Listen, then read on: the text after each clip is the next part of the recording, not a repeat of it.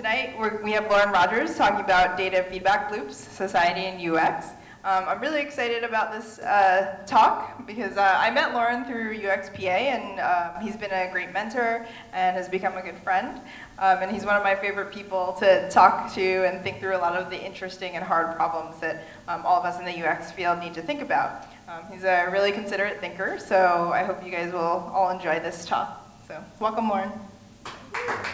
All right. Thank you all, and thank you, Kim and Bill, for uh, for setting everything up for us. And thank you all for coming out and uh, braving the cold weather to, to make it here today. It's, uh, it's not, uh, you know, not an easy thing to get out and do. So um, I'm a UX designer uh, by trade. Um, this is sort of a talk about more of my academic research. And so hopefully it'll be fun and a bit of more of a discussion workshop um, than just sort of me lecturing at you. So um, at any point, if you have questions, take note of them, and I definitely want to talk about them. So hopefully there'll be enough time at the end we can have a good discussion about this stuff here. But in any case, I wanted to start with this, um, because this is going to be the frame of around which uh, I'm going to present everything today. So this poem, uh, I'll read it to you so you don't have to read it yourself, is As he tried to quench his thirst, inside him, deep within him, another thirst was growing for he saw an image in the pool and fell in love with that unbodied hope and found a substance in what was only shadow. He looks in wonder, charmed by himself, spellbound, and no more moving than any marble statue. At this point, I would have clicked and it would have revealed who it was. Uh, has anyone heard the, read the poem or is familiar with the story of Narcissus at least? so it's a pretty common story, right? And it reveals a lot, right? When I bring this up today with folks and I talk about this stuff, everyone kind of gets the feeling, oh yeah, I see, yeah, that makes a lot of sense. And it, it speaks to something, right?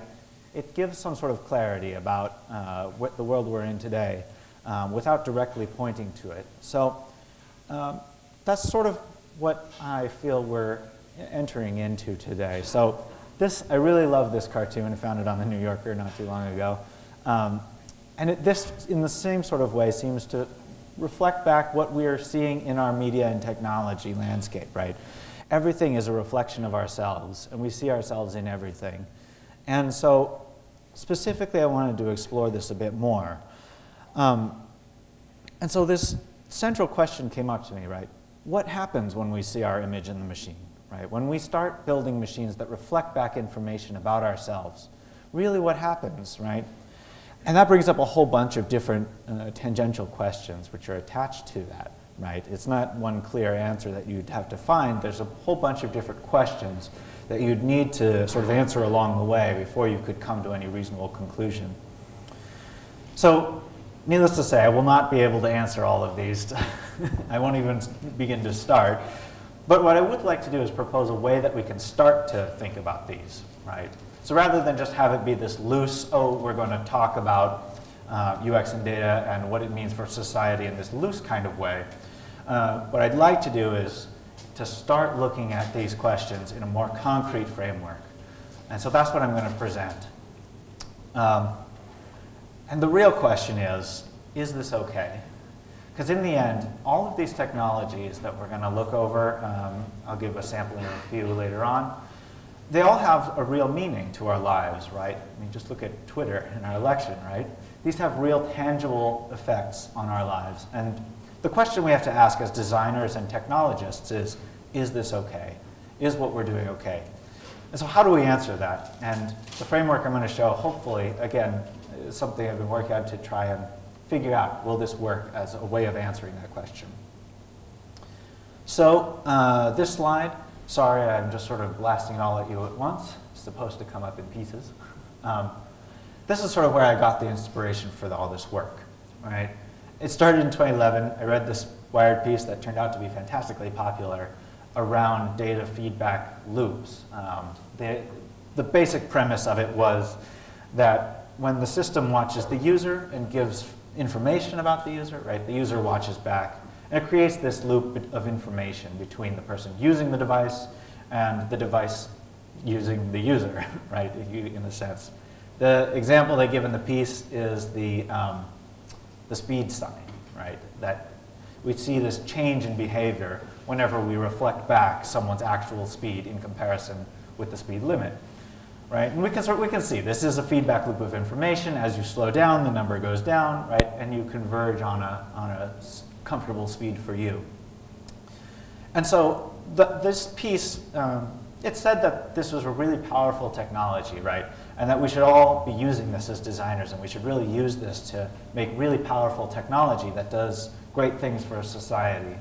Um, you talked about all kinds of other examples. Um, the one I really liked was the, um, the, the Prius, right? We've all, uh, this is a picture near and dear to my heart of the dashboard display of the Prius where you know, you go nuts. I remember going nuts trying to get the highest gas mileage on that thing. And it's a reflective loop here, right? I'm driving the car, the car is telling me information, right? And I'm adjusting my behavior. Um, and so my question really was, right, someone must have already done this, right? That was in 2011. Someone's come up with some solid research around this and figured out how we can determine, you know, what a feedback loop is going to do, um, how it's going to affect the end user, right? This stuff isn't rocket science. It's just, you know, there it is. You can see it. There's the sign. Well, as it turns out, um, it's not nearly as researched as I expected it to be. Um, there's scattered research around. And so uh, what I've been doing, uh, really more than anything, is collecting thoughts together in one place around this. So as designers, right, what are we going to need to think about when we're using feedback loops and analyzing the effects of our systems on society? So um, I, here's a quick rundown of the three arguments that I make generally in my research. I'm only going to talk about one of them really today, but uh, the gist of it is that I argue that there's this feedback loop pattern, it happens at every level. So it happens from really fast microsecond feedback loops between brain scanners and uh, computer systems. These systems exist, um, and they happen in real time, almost, down to the millisecond level. Um, and they go all the way up to the span of, uh, of our societies. We build our governments around them. We build our, our national programs around them. So the, that's one argument I make, um, but I won't elaborate too much here. Um, the other one is that there's, I, I, propose that there's a system for analyzing this in a quantitative way, uh, for analyzing uh, how effective these systems will be. Um, and again, unfortunately, just because of time and probably your attention spans, I will not go into that one.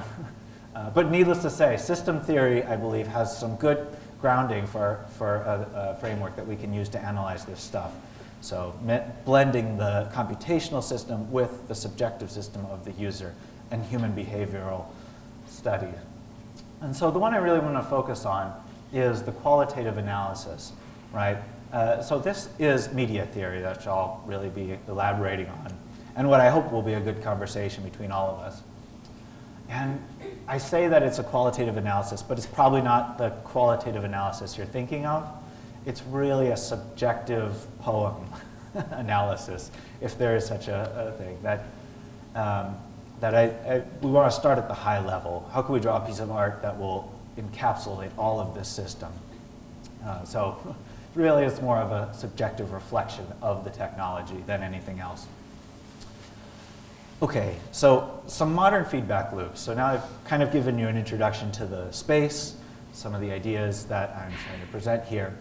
Uh, I'll talk through a, a, few that I've seen and that I think are of interest. So the one that I'm going to really focus on today is Fitbit. If, uh, does, do people have Fitbits? I assume somebody's got a Fitbit. One person, two person. Okay, well, wow, two people in a room of technology folks with a Fitbit. Have, has anyone heard of Fitbits?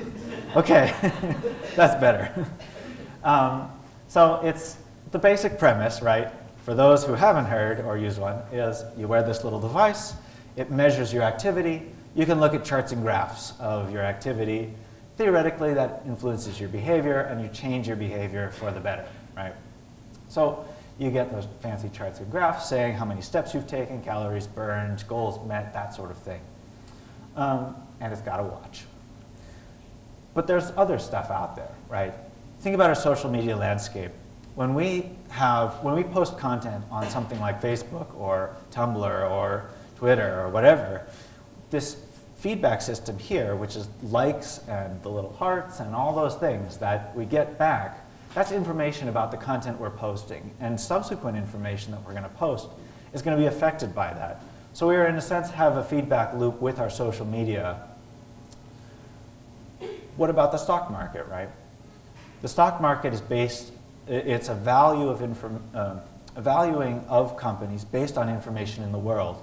If the companies are then basing their value on the stock market, we're looking at all kinds of different feedback loops between the people using the systems and the systems themselves. So again, another complicated area where information is traveling really quickly. Stock markets are down in the milliseconds that we're, that we're doing trades based on information exchanges.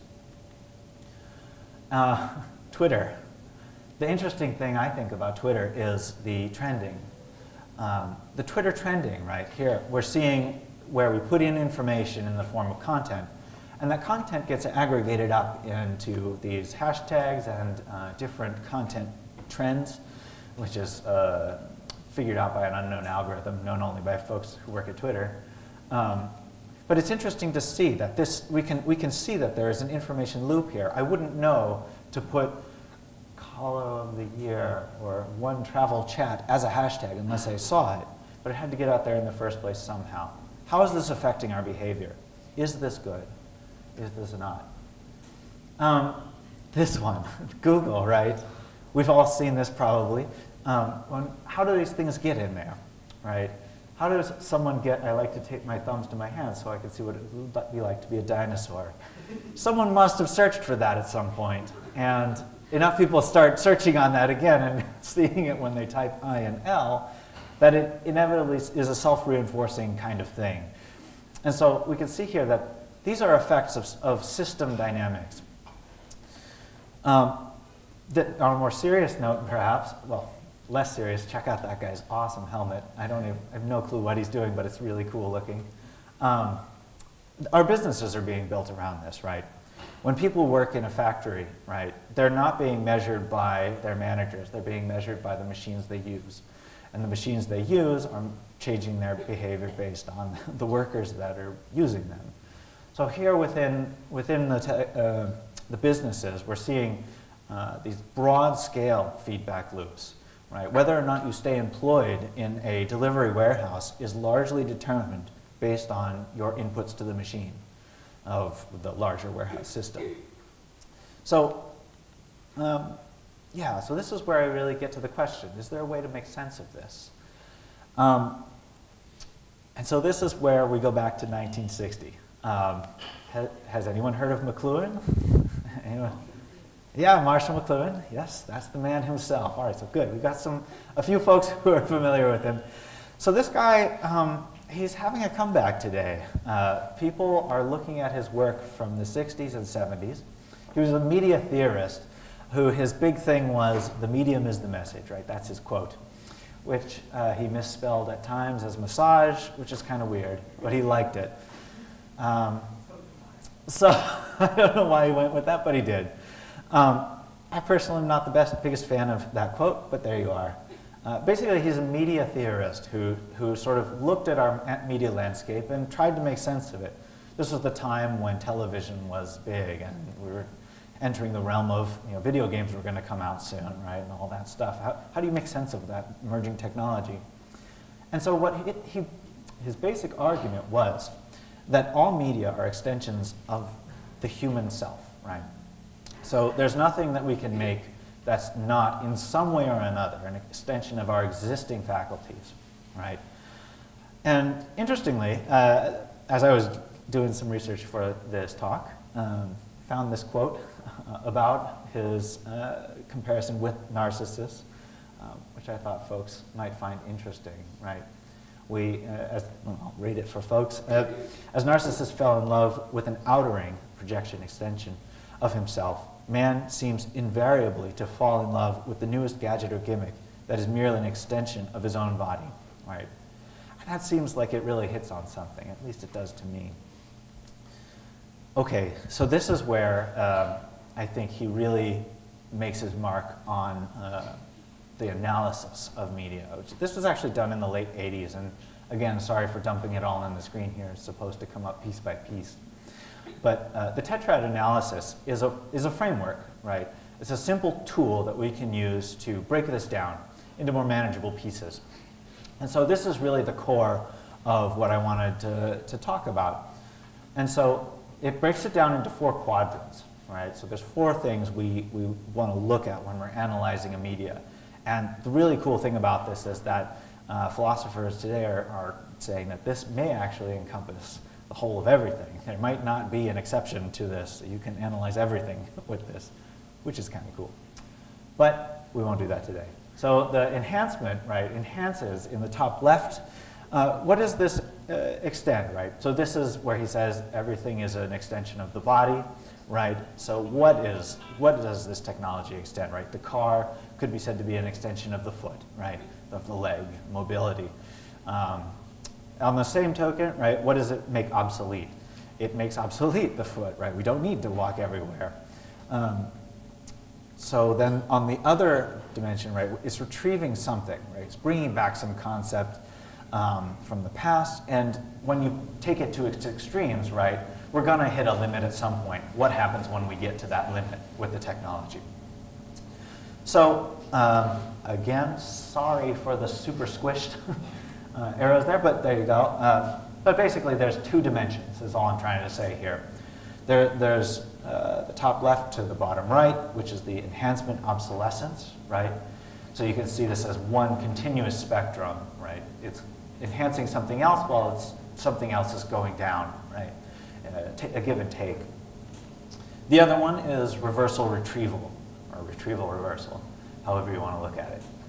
So, so concepts always get pulled up from the past, and they always get taken into the future. And it's this ever churning, um, re, you know, there's nothing new in music. You can't make a new song, it's all been done. It's all just a reshuffling of something from the past. And so the really cool part of this is, just as a note, right, you can look at these in different ways, slice it up, that the stuff on the top is more ahead of where things are today, and stuff on the bottom is a little where it's coming from, things like that. You can look at it, sort of read it that way. Also, you can look at it from left to right, right? Uh, McLuhan likes to use this, this uh, Gestalt psychology uh, metaphor of the figure and ground, right? If you're looking at a painting, there's the figure in the forefront, and the ground is, well, the projector that I'm hitting in the background. Um, and so the figure is easy to see, and the ground is a little, you know, you have to kind of look at it a little longer to figure it out. Um, so a simple example, right, just to set this up. Um, radio, I just made this up myself, um, of how we might analyze a technology.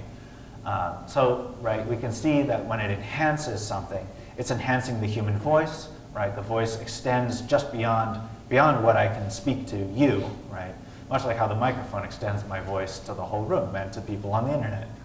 Um, but it also, like, uh, you can read it, actually, I, now that I think about it, I was missing some little arrows. uh, extending from the, out, from the center, right? The farther you go out from the center on this diagram, is the more ambiguous it gets. It's less clear that, you know, the stuff at the middle, you, everyone will say, oh yeah, duh. But at the stuff at the edge, you go, I don't know. Right? So it's a little fuzzier, um, a little more for debate. That's generally how I read these. McLuhan didn't leave a guidebook, but that's how I like to read them. And so we can read uh, the radio as an enhancement of centralized authority in one person or entity, right? This is the more ambiguous social construct that we have one person who's delivering the message to the people, right?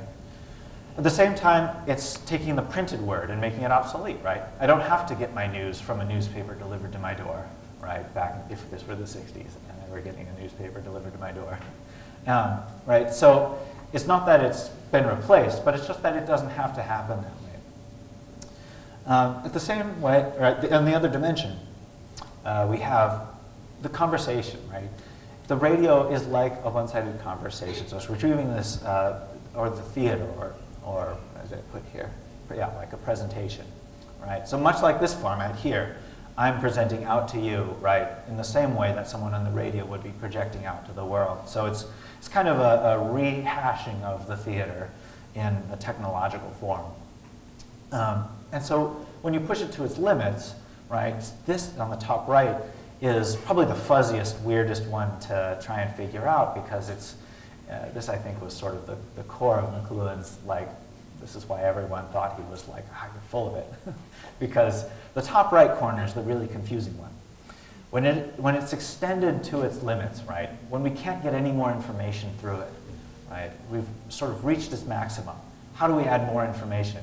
We switch it into a visual medium, and we get TV, right? So the medium flips between, he called it hot and cool, he called it all kinds of different things. But the mediums change, right, from a text-based to audio-based, from audio back to text, and te now we look, we're reading books on our phones. Uh, you know, this is, this is a, uh, the medium always flips back into something. So take from it what you will.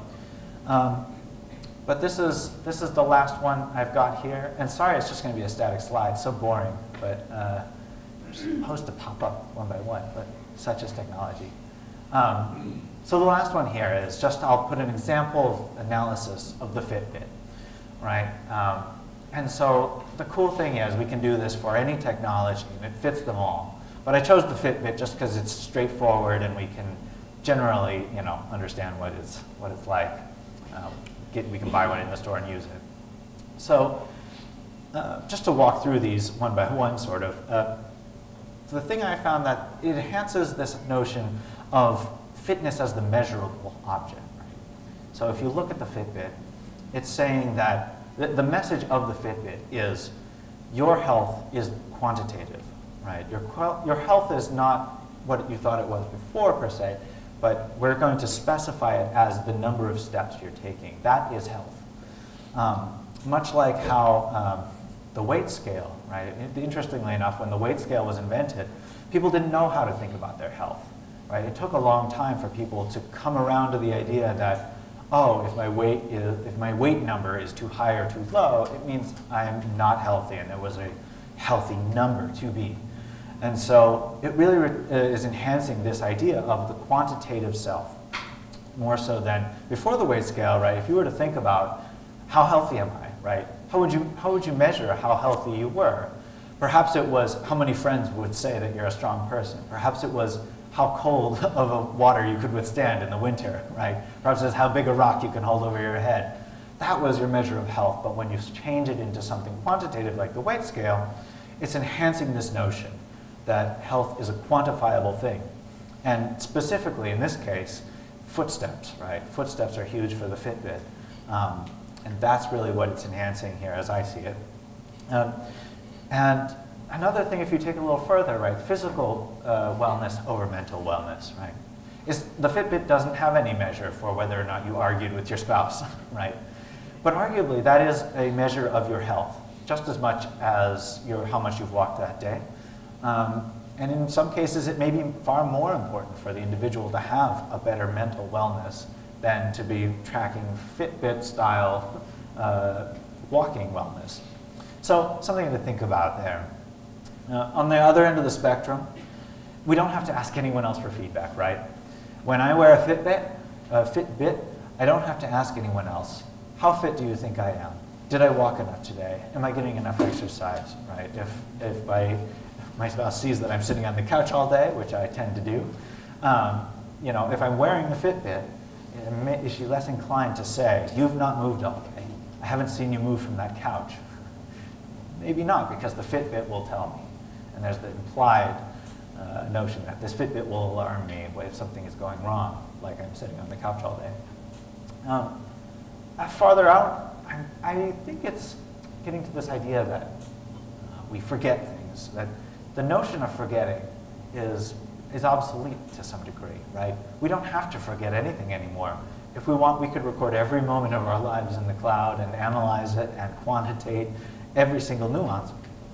And is it a good thing or a bad thing? That's, that's the question that, that we're sort of driving at. But, but I feel like it, it in some way makes obsolete the forgotten, right? I can tell you exactly where I was on a specific day, and I can even tell you how many steps I took to get there, right? No forgetting required or remembering.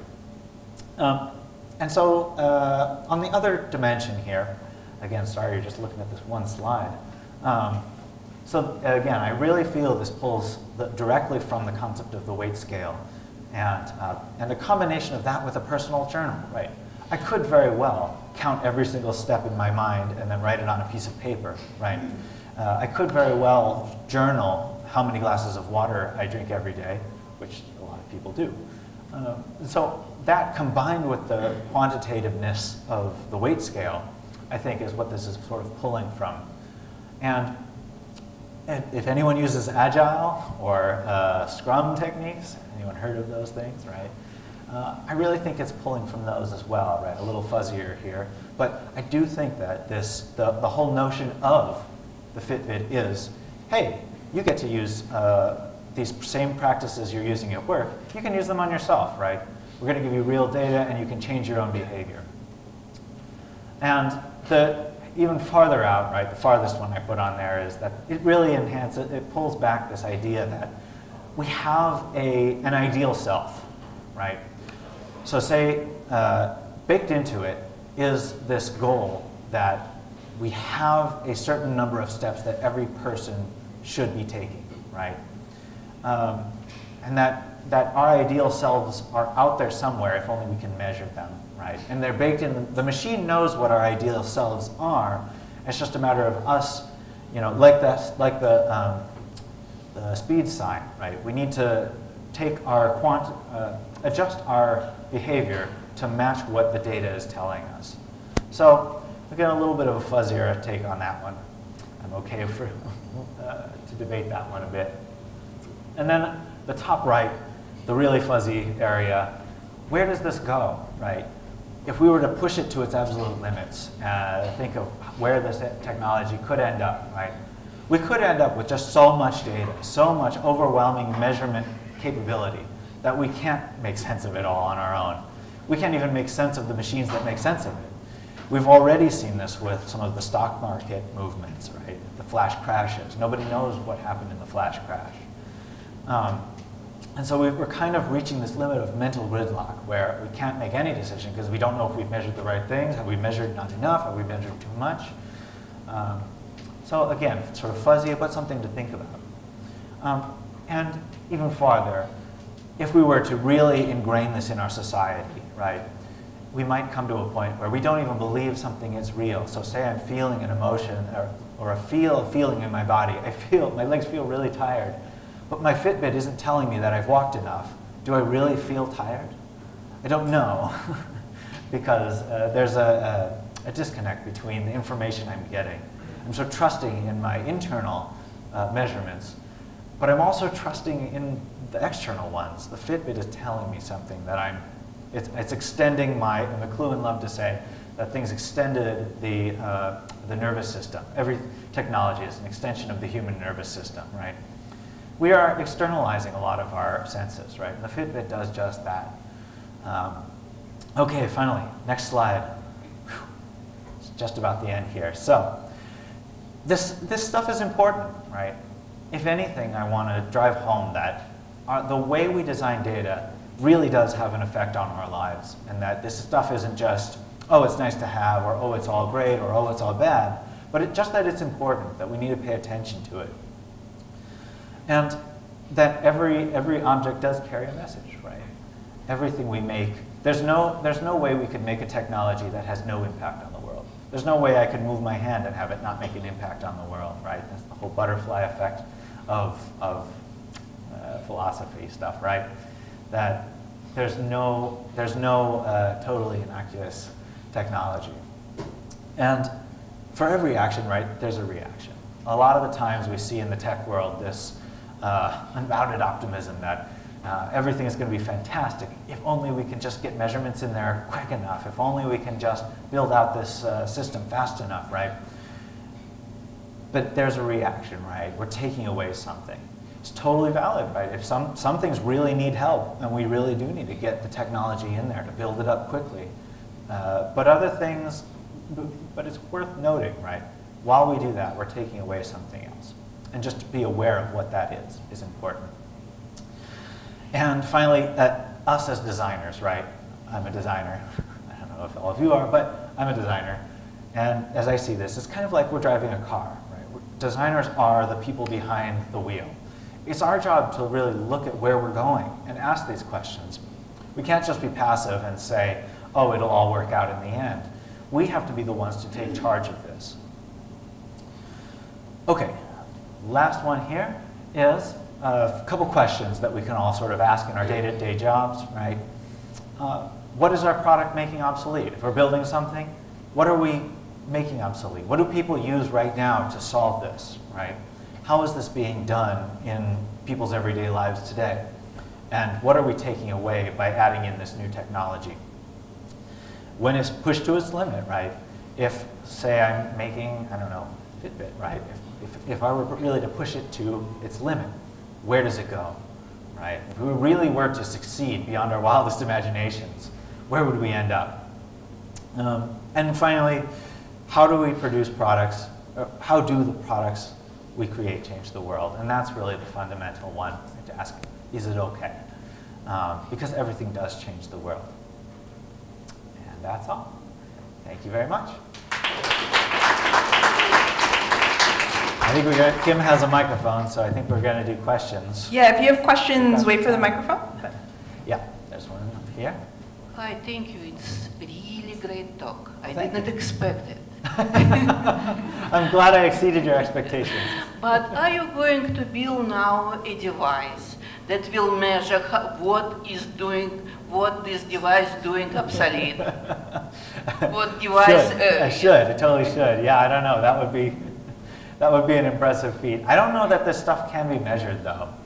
In the same way, like uh, a lot of the times, uh, I feel like when people present a framework for analyzing something, that it's it implies that there is a, a new technology on the horizon. But here I think, if anything, um, we need to go backwards a bit.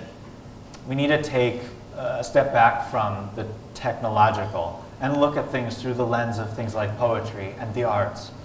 Uh, things that us as designers don't really have necessarily background in. I think this stuff is worthy because it's a better reflection of the reality that we're in than some of the more technical uh, stuff can be You have a program, we have a code that writes poetry. Why not? That's true, actually. Interesting point. If you were making bots that uh, write poetry, you might very well be able to write a, a bot that runs tetrad analysis, analyses. Cool. Hi. Hi. How do you feel that, um, let's say someone working at a corporation, how could they take into account the things you're talking about to influence their projects? especially considering that they might not be like driving the strategy for a product? Yeah, yeah, it's a good question. Um, I'm not totally sure how to answer it. I'm not, I don't think I'll have the answer per se. But I will say that a lot of these um, concepts can be used in just everyday conversation. That, uh, you know, I present it as a whole framework here and a complicated, you know, this and that. really, this just comes down to asking questions. Um, and if we build out our own vocabulary, our own uh, ability to speak to these things, we'll be in a better position when we start talking about it with others who do have bigger influences than us. Um, so, you know, if, it, if you're more aware of what a technology is taking away, you'll be in a better place to set up, you'll be set up for a better place when it comes up in the meeting, right? When it says, okay, are we going to do A or are we going to do B? You'll come to it with a little more uh, information behind it, right? A little deeper consideration for which choice you're going to make. And if there's, if there's also a question of do we take route A or route B, you can propose, hey, well, I'm not totally sure, but this tool might be able to help us figure it out. Um, so again, it's not a prescriptive sort of answer, but uh, really a framework for generating questions and discussion. Hi. Hello. So, um, I was wondering if you could apply the tetrad analysis to something intangible. Of course, yeah. Uh, in fact, that's what uh, McLuhan was all about. He, he loved the intangible. Um, applying it to concepts was like his wheelhouse. He, he loved, uh, you know, like putting things like Western democracy in the center of a tetrad and seeing what goes out from there. Um, so absolutely, uh, McLuhan uh, was a real oddball, so he liked to put totally contradictory things. Um, he was very uh, much like a Zen poet in that sense, that he would put up things that, you know, you look at them on the screen and say, those two things have nothing to do with each other, or this thing is not even uh, at all like what um, the initial thing was like, but then he'll come up with some answer that uh, sort of spins it in a new direction. So I would definitely say, if you're at all interested, check out McLuhan's stuff. Um, there is a, a, specific book from the 80s, um, The Laws of Media, I believe it's called, that is all about this, where he developed. He developed this rather late in life. Um, his earlier stuff was a lot more about commentary on, um, just more of a commentary on the media landscape and technological utopianism. And so, um, so yeah, I would definitely say check it out. Um, Laws of Media, I believe, is it in the 80s when he wrote the book on it. But Can you apply it to a feedback look? Feedback look? Feedback, feedback loop. loop. yeah, yeah, absolutely. Uh, I mean, as a feedback loop in general, like information feedback loop is a complicated sort of thing, right? If, if you're going to look at it uh, as, you know, as a whole, it, it encompasses so much, right? Because everything we do is some sort of information feedback loop, right?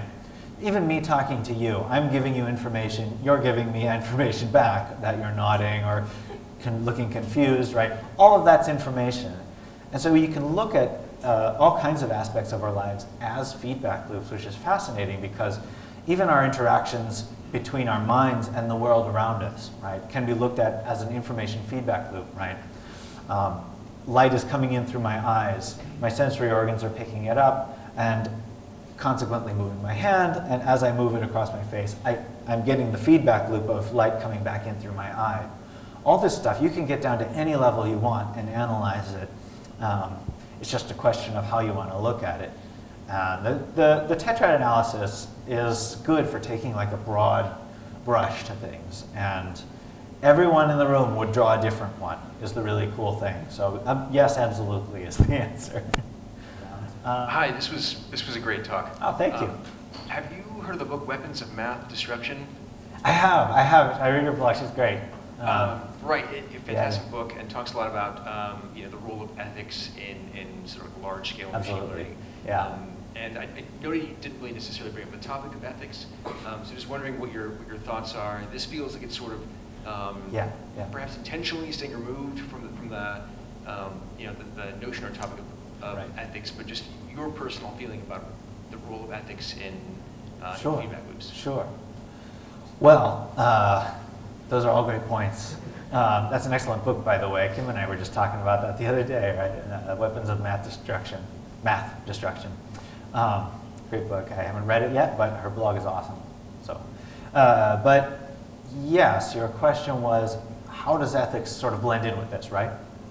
So, as I see it, you can take this and apply any ethical framework you like to it. So um, there's all kinds of different schools of thought on ethics. It's a whole field of philosophy that I am not an expert in. But what I do see is that ethics is really important, obviously, for all of us in all of our lives.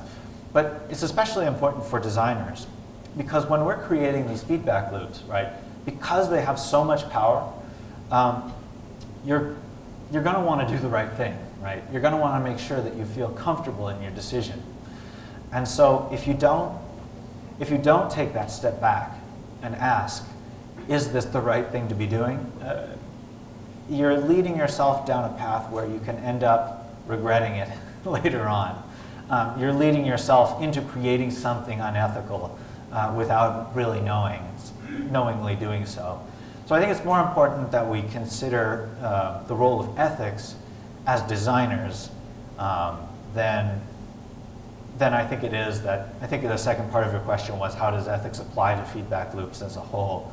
Uh, more or less is uh, are feedback loops ethical as a whole? And that I don't know. Uh, um, I think it takes case by case, right? I think as I see it, a feedback loop is a tool, right? And uh, we can talk afterward too if you'd like about some of the how it blends with system dynamics and the, the, the technical analysis of the, the user experience. But because they're such a powerful tool, they'll really boost up certain aspects of, of the system, right? So the, um, they, they can either have, sorry, let me step back a few, a few steps. Um, so feedback loops, if you look at them in dynamic systems, they have predictable behaviors, right? So if you put a, a negative feedback loop on something, it generally has a dampening effect on whatever the signal is. Uh, so it generally uh, will uh, converge on an equilibrium, right, down to a, a stasis. Uh, positive feedback loops, right, when you're taking data and adding on to the data that came before it, um, those can have unpredictable, expanding, uh, uh, they'll, they'll reach uh, a point where they'll expand until they can't expand anymore. Uh, and, but you also see complex dynamics, um, lots of interesting research around uh, complexity in feedback loop structures. Um, Wolfram, uh, Stephen Wolfram wrote a book all about uh, where he showed that simple automata can make really complex patterns just from simple rules. Um, I don't think that, well, that's a whole separate discussion around Wolfram and his research, but I think it's a good point that these systems can have really big effects. That's really the point. Um, what those effects are, I think need more research. Hey, Yeah. thanks for your really compelling uh, statements about Thank how you. we're looking at for ourselves and, in things around us. And I was wondering, just based off of your personal experience, Yeah. what sort of things have expanded or diminished our view of ourselves as humans? As long as we've opened the ethics can of worms, how would that apply to things like sexism and racism? Right, right. Oh boy. Um, that is a big can of worms, but uh, I think, as I see it, really my take on, on technology today is that it's allowing things to expand quickly. Things happen much more quickly, right? Speeding things up has been the, the, the trend for the last 20 years or so, that things have really hit a pace where they can change overnight. Um, so as, I don't think it's good or bad, is the bottom line. I think in the end, we're all going to look at ourselves in these machines and see ourselves. We're not going to see anything more than that. Uh, and so as far as, as, far as um, specific social issues, right, like sexism or uh, any of the ten, uh, others, the infinite ones that you can think of, I see feedback technology as it's merely a tool, right? It can enhance and it can take away, right? It's just a matter of what it's being applied to. So I don't think that the fundamental patterns themselves have any implicit underlying uh, ethical structure to them. But I think that the tools that we build with those patterns, I think those do. Uh, if that makes any sense. Um, Nigel, if, I saw Nigel's hand go up, but. You um, frequently ask the question, is this all right? right. Which opens up the ethical. So you asked for that one. The, the ethical question. What I would like to do is um, this, this idea of extension of the human nervous system. Mhm. Uh, also, I think that uh, with the Fitbit, you're relating machine to individual, but we can also look at the society as a whole. Mhm. How human knowledge is increasing, how human knowledge will uh, affect the way we use technology, and how technology comes back Yeah. and pushes our knowledge forward, and then we use technology differently, and then that comes back and pushes it. So that's a feedback loop on the macro scale. I wanted to know whether you could talk Yeah. about that a little bit. Yeah, the whole process of creating technology is in and of itself a feedback loop. It's sort of, I think, what I took from that, right? And I think it's true. I think it's true. I think, uh, think as we're going to see certain, as we've sort of seen that industries, industries crop up in certain areas really quickly. And I think that that is the result of these technological systems themselves reinforcing it, right?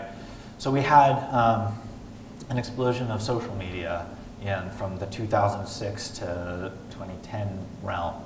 And I, as I see it, right, if I were to look back at the history of that, you can sort of see that these factors converge.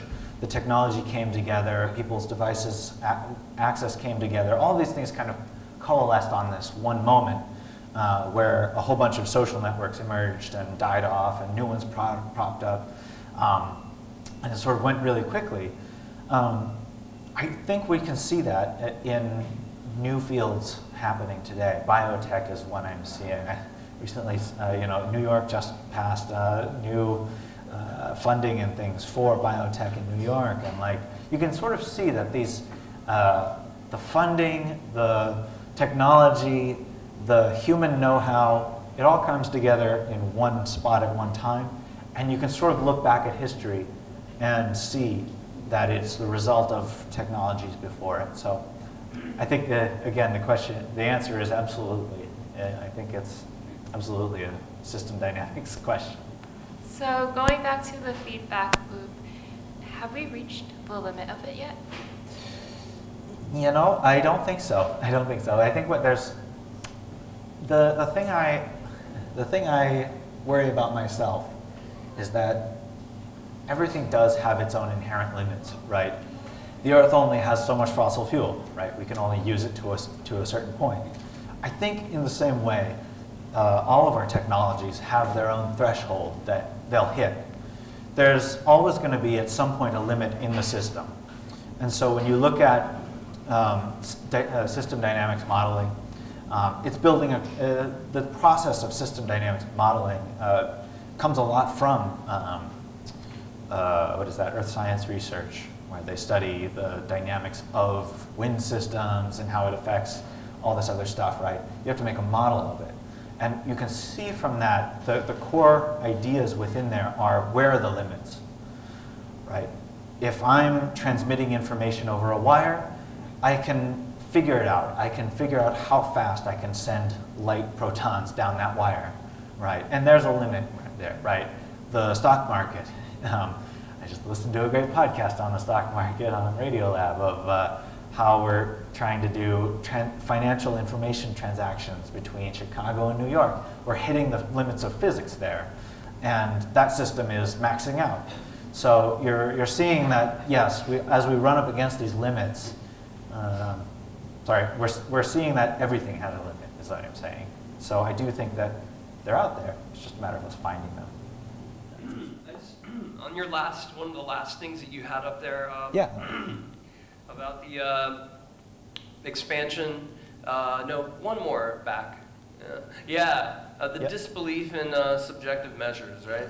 Um, mm-hmm. I just can't help, as you were talking about that, I couldn't help but think about this. Supposedly, we're living in this era of, you know, post-truth, which freaks me the fuck out, and I'm sure hopefully everyone else, uh, because you know, um, after this election, uh, I don't know, I don't want to leave the house. And, uh, um, and I just, I, I, I don't know, I, I keep waiting for that feedback loop of like, oh no, let's be informed and let's realize that, you know, climate change is real and let's not, you know, right. have the apocalypse. Anyway, I don't know, any thoughts? Yeah. I'm with you, let's not have the apocalypse. That sounds pretty good to me. Um, yeah, this, you can really see, that's sort of why I like to put the Facebook and Twitter up on the beginning of what are we talking about here, right? Because this stuff, we've seen that this is having big effects. I think this is, that's why I'm hoping this, this talk is going to be like the most viral talk on the internet because I think it's really hit its heyday here. Everyone is seeing how important uh, something like Twitter is, right? Who's designing Twitter? Who's figuring out the algorithms that are determining what is and is not important? Um, I think, as I see it, right, we are going to hit kind of this point. Uh, McLuhan's, if we go back to sort of McLuhan's take on things, um, I'm going to sort of rely on him. He's, he's been around a while, been through some technological changes, and he sees things as kind of this ebb and flow, ebb and flow, right? When things go, they come back, right? The wave can only go out so far, and then it'll recede back. And we may have come to the point where um, news sources are totally not discredited, and we, we rely on our friends more than people who actually know stuff. And um, we may have hit that point. Inevitably, as sort of McLuhan implies, there will be this inevitable pullback to centralized things, right? Uh, he gives the example of, uh, sort of in an abstract way, the, the lava lamp. And I love this example. We all know lava lamps, right? They're way cool. Um, or are they kitschy, right? are they the archetype of cool and like rad uh, fashionableism? or are they like outdated, please? it's just what your parents had in their bedroom. This is not cool, right? Lava lamps, you could see it in this trend, right? Lava lamps, as McLuhan wrote about them, he loved the lava lamp. Um, they go from being kitschy, like gimmicky things, like, yeah, right, to the epicenter of coolness, right? And we can see that happen a lot. And you can look through, through um, the, the analysis of media. Um, there's this pattern I, that you sort of see. Remember when That 70s Show was big on TV? It was about 30 years after the fact, right? Then another decade went by and the 80s became, you know, now we've got, um, you know, things like Stranger Things, which is a fantastic show, um, which is, you know, echoing this past, this notion of the past. So I think things do come back around. Uh, fundamentally, we are all kind of, um, I think we will ebb and flow. Uh, Republican, Democrat, uh, centralism, distributed informationalism, whatever we've got today, whatever you want to call it. I think it's an ebb and flow, if that sort of talks about.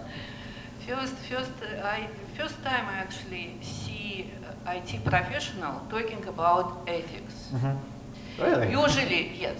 Usually when I talk to them about this, usually all these guys uh, uh, acting like money can justify anything. Sure, sure.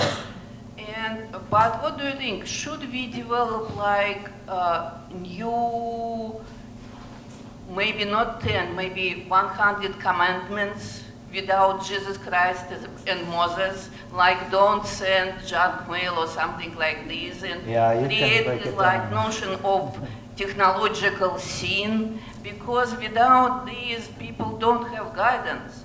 Yeah.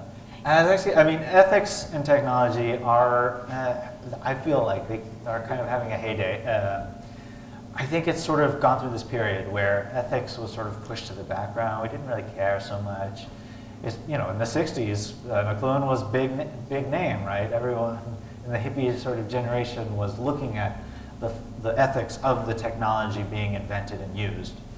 And then we went through a big slump, right, through the 90s and through the 2000s. I feel like, uh, yeah, we are kind of coming back around to, uh, to uh, ethics being an exciting topic. You and, and you profit.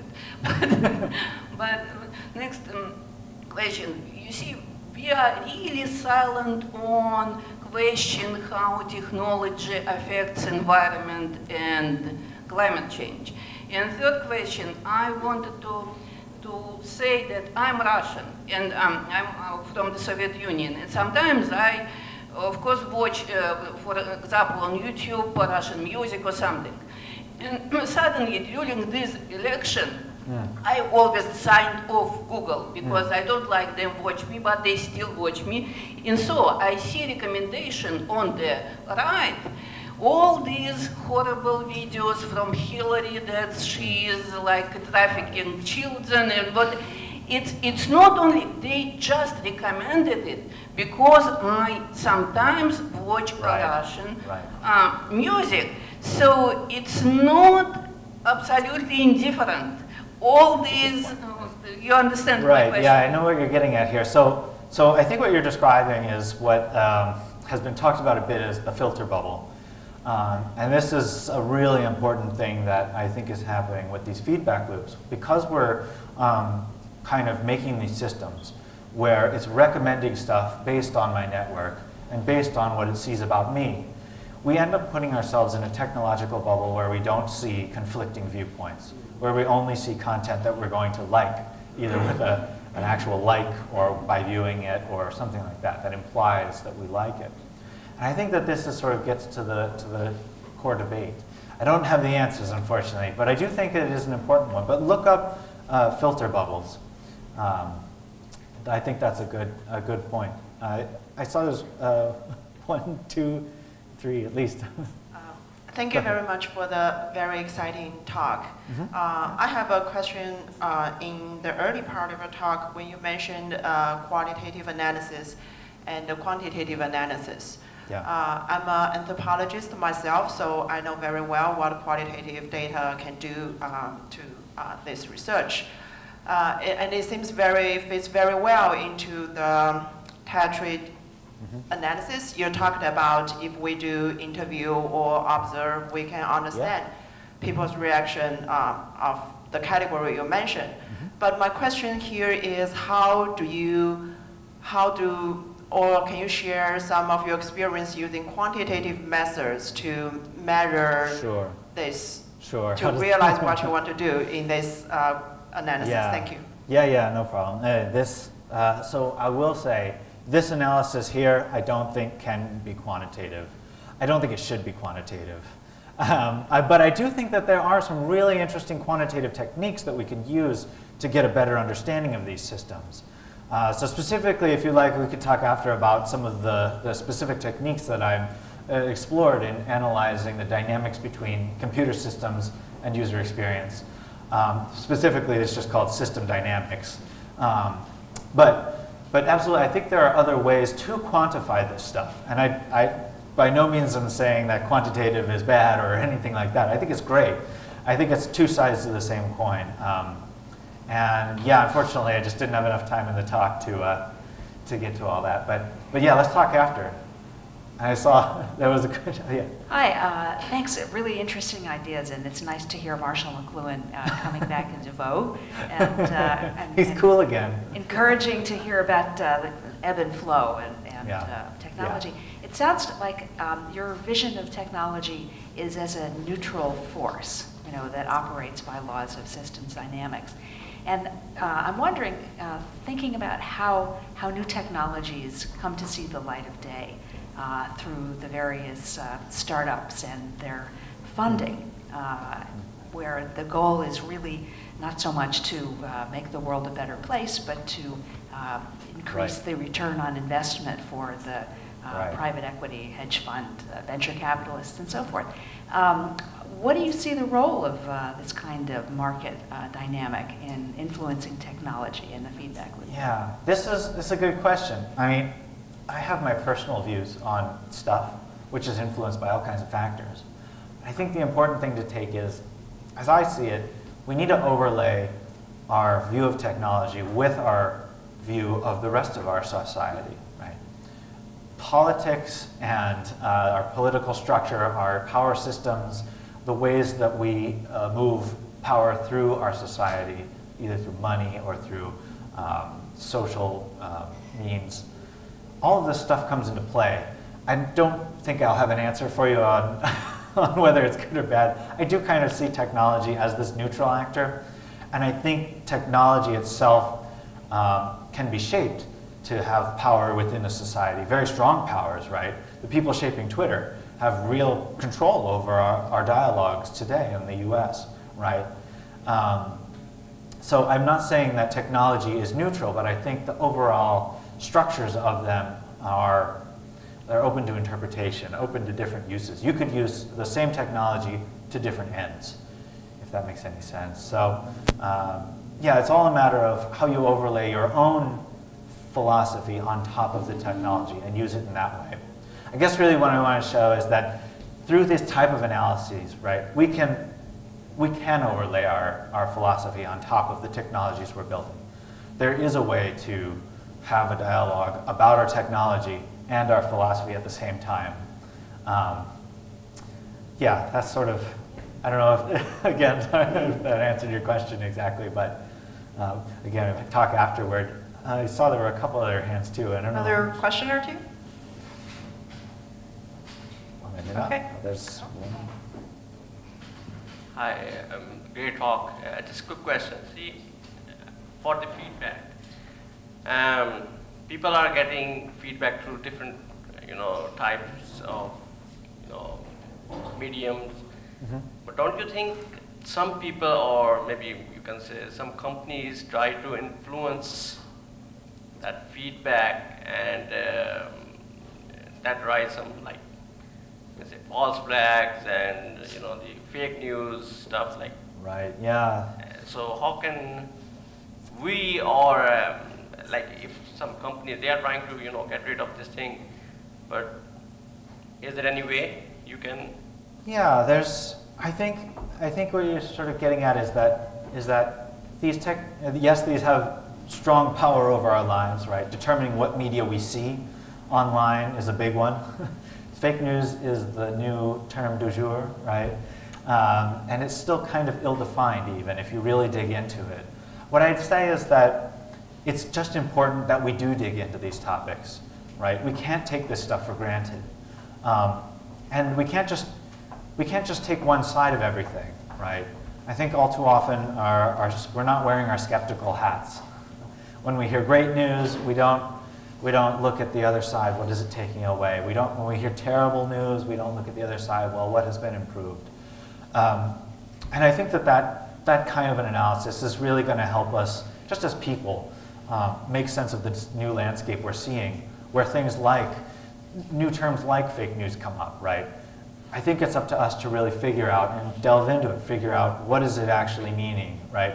Much the same way that we might analyze a news article for how many sources does it have, who are the sources, what are their incentives for saying it, things like that. In the same way, you have to look at technology right? Who's building Twitter? What are their incentives? What role do they have in society, right? And you have to analyze it in, in, you have to be equally critical, right? You have to be equally critical of the media that comes through it, but you have to be, uh, sorry, you have to be equally critical of both the media that is coming through the system as well as the system itself, right? It's not just the it's not just the news articles you're getting through Twitter, it's the fact that you're getting it through Twitter at all. That's important. Again, it comes back to McLuhan's, the media is the message, right? This message, the message of television is not, there's, you couldn't say anything on TV that could possibly be more important than the fact that you're watching it on TV. The fact that you're watching it on TV is the ultimate message. So it's more powerful than anything you could say on the media. I think we have to kind of look at our new, our new landscape in that same sort of way. And we can take a, we can dig deeper into any of this stuff afterward too. Because are we out of time? Yeah, I think I think that's uh, about. We'll chat